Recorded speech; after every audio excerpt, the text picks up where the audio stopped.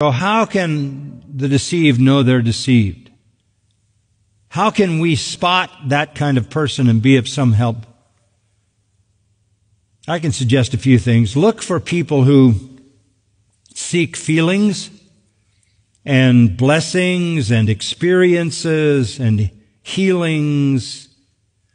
People who are more interested in the byproducts of the faith than the author and finisher of the faith, Christ, who are more interested in the gifts than the giver.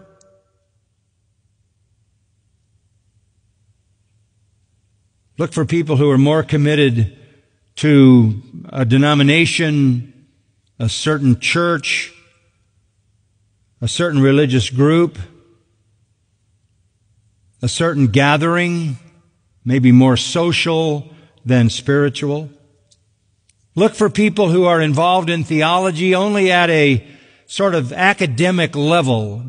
Seminaries are full of these kinds of false Christians who look at theology as some kind of an academic interest, but have no real relationship with the Lord.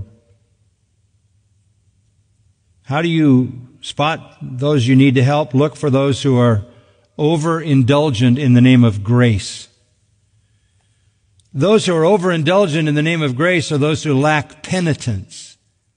They lack that brokenness, that humility.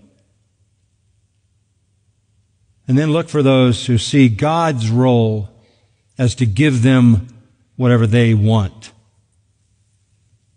You see God as the fulfiller of their desires rather than themselves as the ones who must bow to God's desires, which are in the end the best. All of these kinds of people may be deceived and very likely on the road to destruction, but they think they're going to heaven.